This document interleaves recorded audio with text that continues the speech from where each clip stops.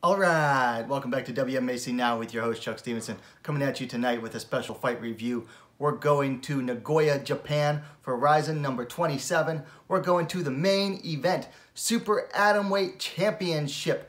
Champion Ayaka Hamasaki coming in 21 and 3, taking on the challenger Kanna Asakura coming in at 18 and 4. Now this was a rematch. These two first met at Rizin 14 on January, excuse me, December 31st, 2018, with Ayaka Hamasaki winning by armbar submission in the second round, capturing the inaugural Rizin Super Atomweight Championship. Now, she since lost the title and then regained it this past New Year's Eve when it was vacant again, and is facing Kanna Asakura again for the title.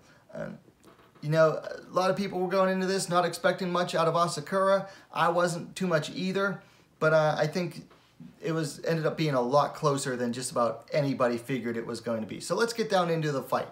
Uh, first round, uh, Hamasaki's boxing, her boxing was money in the early stage. Uh, she's piecing Kanna up, but then again, Asakura was, you know, landing some clean shots of her own occasionally. Um, Hamasaki got a takedown in the corner, landed some ground and pound, but Asakura was able to escape, uh, quickly slammed Ayaka, who then quickly got back up, and then from there, it was a little bit of a battle of low kicks, followed by a battle of feints, and then some more good boxing by Hamasaki to finish out the round. Second round, the one-twos were still landing for Hamasaki, but Amas Asakura, she landed a really nice clean hard left in there too. Um, Hamasaki got a takedown to half guard, uh, she started to hunt for an arm lock, but that allowed Asakura to scramble and landing in uh, Hamasaki's guard. Um, both started landing some grounding strikes. Um, Hamasaki then escaped, but was eventually brought back down by Asakura. And then Asakura, she, you know, worked her way to mount, got it in the last 10 seconds, started landing some punches. Um, so, you know, the way Rizin does some scoring, I had to fight, you know, about even up after the second because Asakura was doing some good work on the ground, landing some strikes, some good clean strikes own. Plus, the mount at the end of the round is very crucial under Rizin's scoring. Because uh, they don't do uh, round by round scoring, but it's whole fight. But I still have it uh, roughly even. Uh, third round was a largely stand-up affair. Hamasaki's jab was still landing at will, but Asakura, she started to get the timing down on her counters and started landing some good counters herself. Um, Asakura got a takedown attempt, but was blocked by Hamasaki. Um, still held on to her and brought her down on the second attempt. And from there, she landed some punches in turtle position, but um, Hamasaki got back to her feet.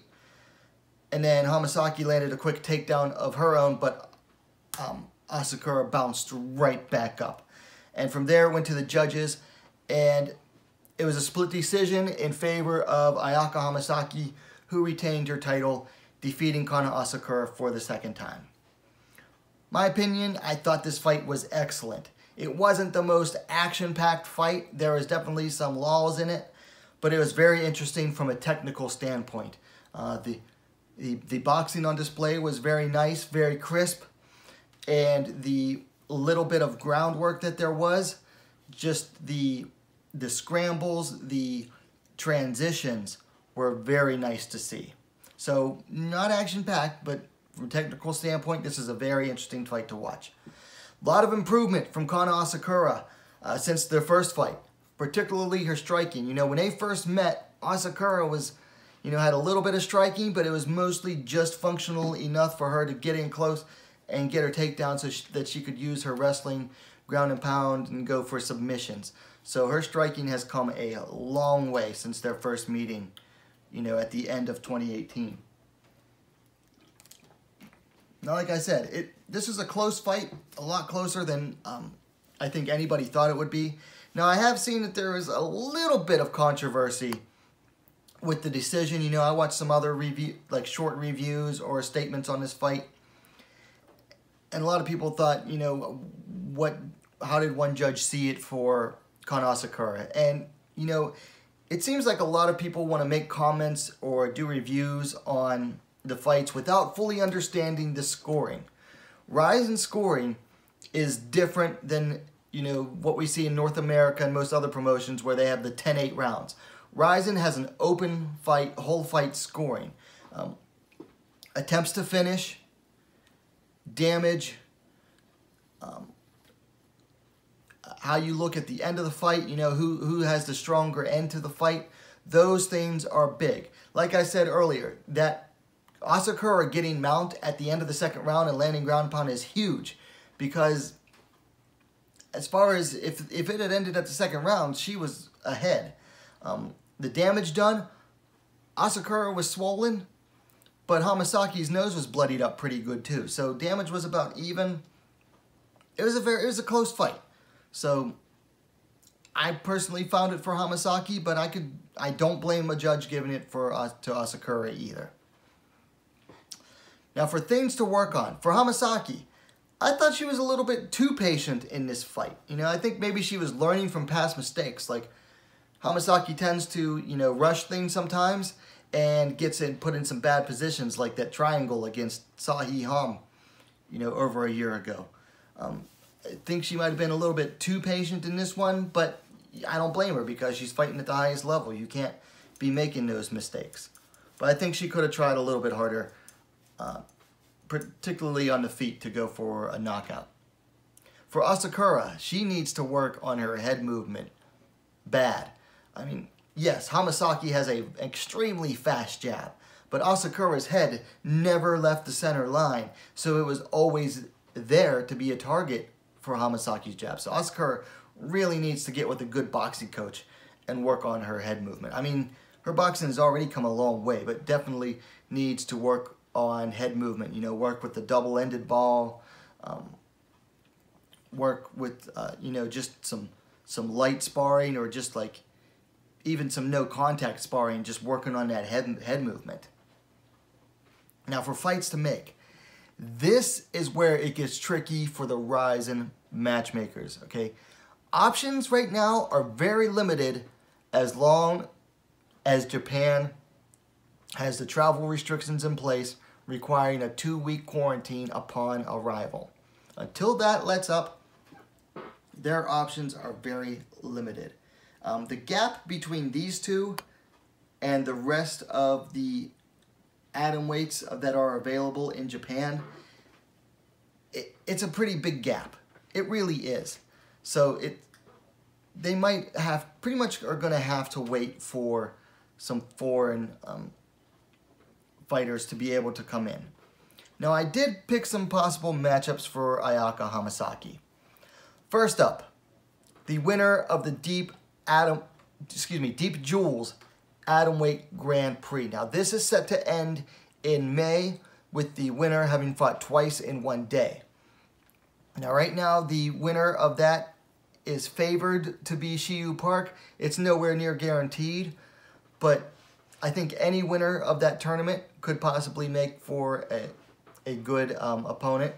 Uh, they have the storyline there, you know, champion against champion, you know, the, the smaller promotion champion versus the big promotion champion. And if Si Woo Park wins that, you know, she is Seo Hee Ham's, you know, friend and training partner.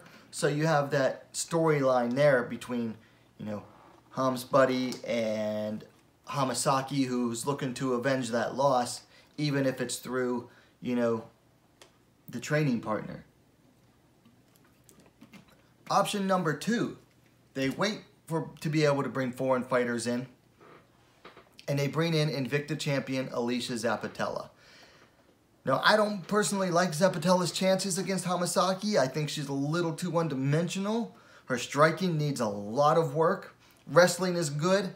She's showing some improvement with her submissions, but for the most part, she's a, she's a lot like what Kanna Asakura was when Asakura faced Hamasaki the first time, is how I look at Zappitella's style. But again, you got the storyline, Invicta Champ versus uh, Rizin Champ. Ayaka Hamasaki, she never actually lost the Invicta title when she, that she held. She ended up leaving Invicta and coming back to Japan and fighting for Rizin. Never actually lost that title And she also holds a win over the last person to hold the title, Jinh Yu Frey, who lost the title on the scale, so she never actually lost the title in a fight either. So you always got that, you know, let the Invicta champ come over, and then Hamasaki, you know, shows her, you know, who still runs that division. And then third,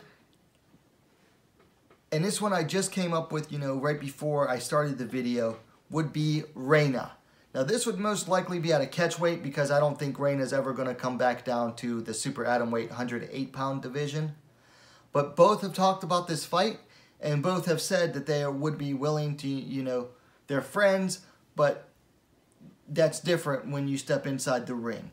And, you know, Reina has talked about only having like two or three fights left, and this is one of the fights that she wants, is to face Hamasaki you know, if they're both willing to, to, you know, set aside their friendship and get in the ring and throw down, I think it could make for a good fight. You know, Reina's uh, submission defense isn't exactly the greatest, but she has shown some improvement, and of course her striking is top notch. So if it stays on the feet, it makes for a fire fight. If it goes to the ground, I think Hamasaki would win fairly easily, but it just depends on how much Reina's uh, submission defense has improved. So I think this would make for a fun fight as well. So, you know, three decent options for Ayaka Hamasaki. Okay, so those are my thoughts on the Rizin 27 Super Atomweight Championship main event. Now, the video is available on its own on YouTube, so I will link it in the description and a pinned comment down below. Now, if you like the video, uh, let me know your thoughts on it. First off, let me know your thoughts on it. If you like it, Please give it a like, share it as well. That's how the channel grows.